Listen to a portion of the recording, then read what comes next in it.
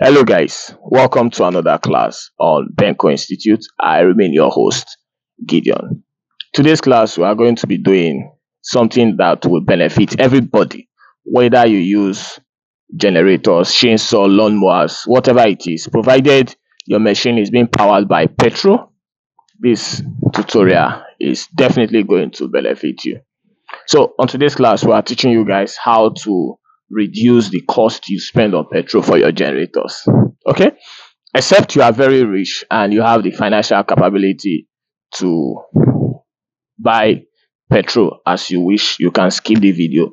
But if you're like me that conserve money on petrol, even for my chainsaw, lawnmowers, generators, as the case may be, then this video is definitely for you. How do you conserve or how do you reduce the cost of petrol for your generators? One of the things I've taught on this channel over the years is how to adjust your carburetor. But fortunately, most persons are not in the know. And that will I, I will be teaching right now. How do you adjust the carburetor of your generator so that it doesn't take much fuel for its running or it doesn't take much petrol for its running. So how do you adjust the carburetor? Let's do that quickly.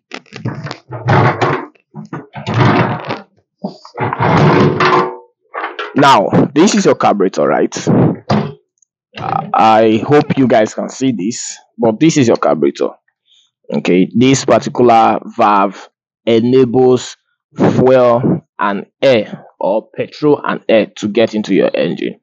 And when this is taken clockwise, it reduces consumption of petrol and air. So if I take it to the right, which is clockwise, I have further reduced the consumption of petrol for the gen right.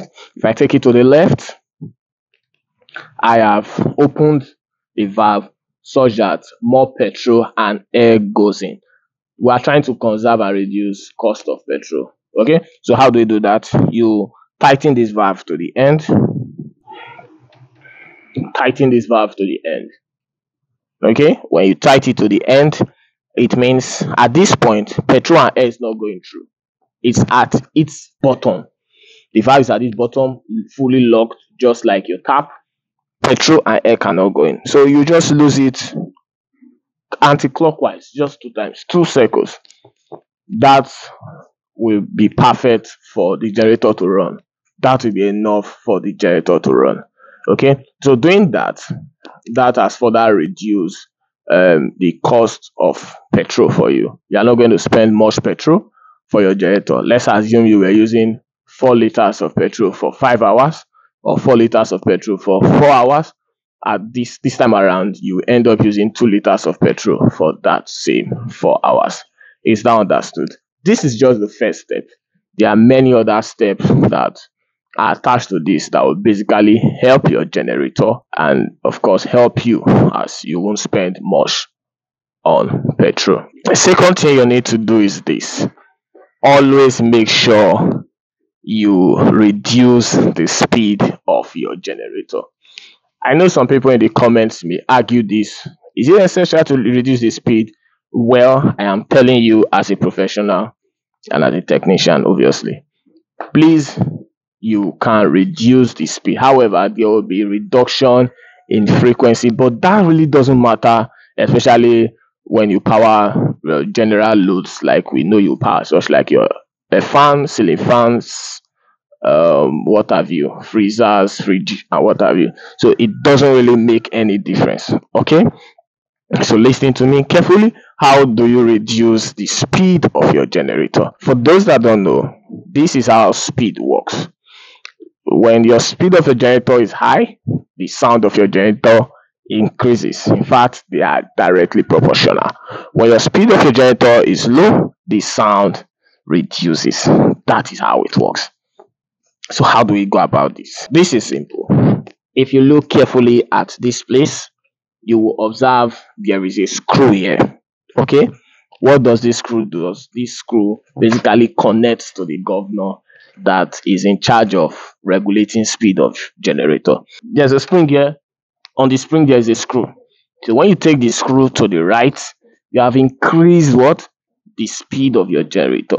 But when you take it to the left, you have reduced the speed of your generator. Please take cognizance of that and don't do the opposite.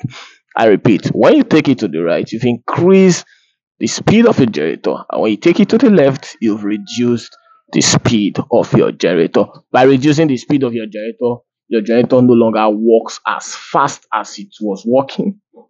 The generator is not even high again. Sound of the generator is not that high. And at this point, your generator uses less petrol. It's now understood. If you have any questions, please do well to ask in the comment section. Third on our list is this.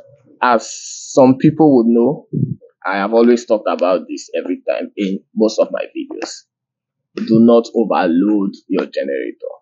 And that will help you too when you are trying to conserve or reduce petrol usage. If you overload your generator, somehow your generator takes more fuel to counterbalance the load. Okay? It's life. That's how it works.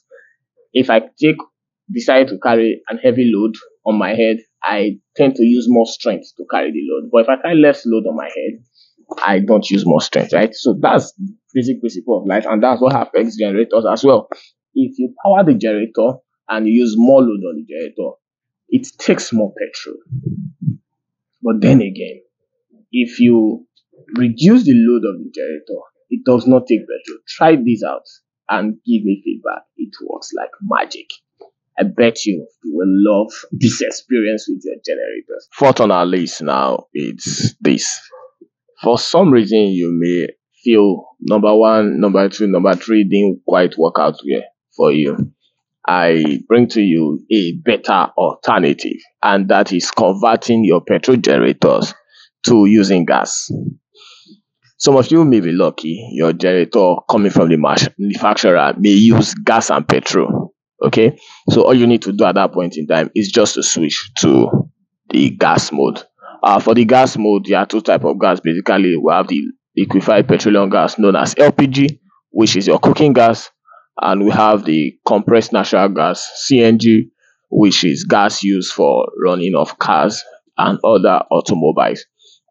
Okay, so if you have a generator that uses that has both mode, just simply switch to gas, CNG preferably, and that will cost you way way less. So how do you convert this particular generator that doesn't have this mode to switch to gas?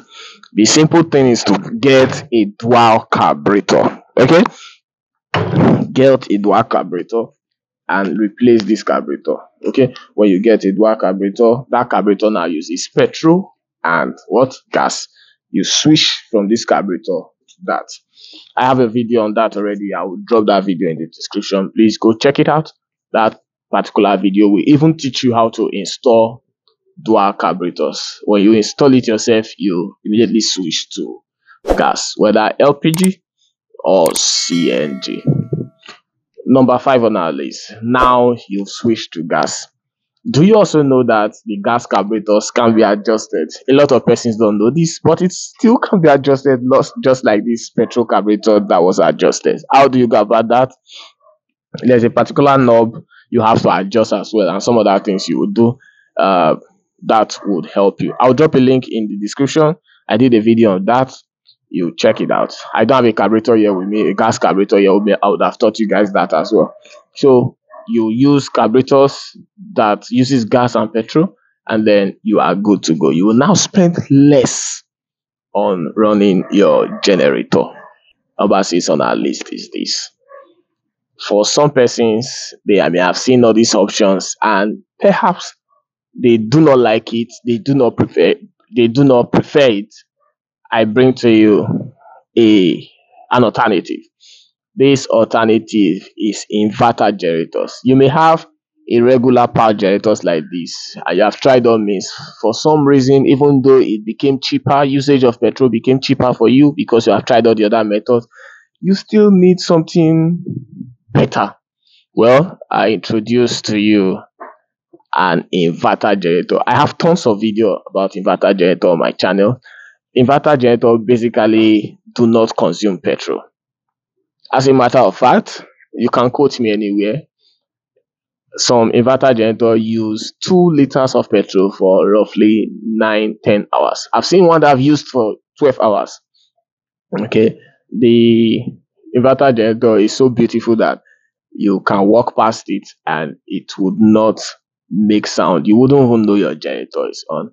And to cap it up, fuel efficiency is great. Okay, so if all these other five methods doesn't suit you, another thing you should do is to get an inverter generator. And by the way, we sell the best of inverter generators anyway.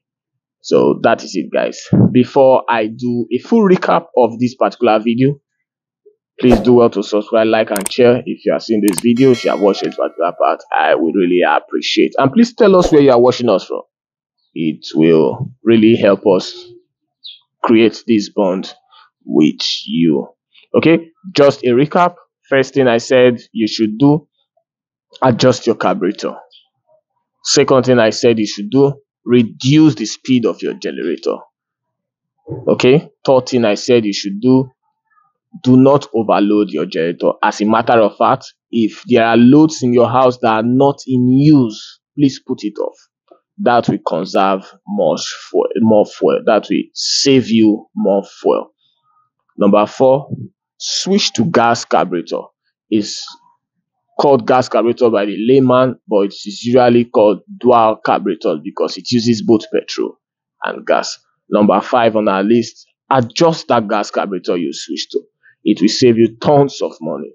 And number six on our list, use inverter generators that are very fuel efficient. If you do all this, I guarantee you, you are saving tons of money from usage of petrol.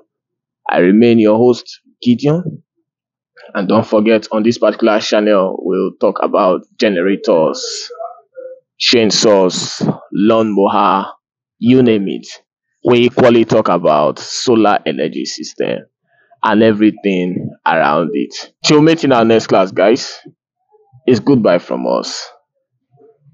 Take care.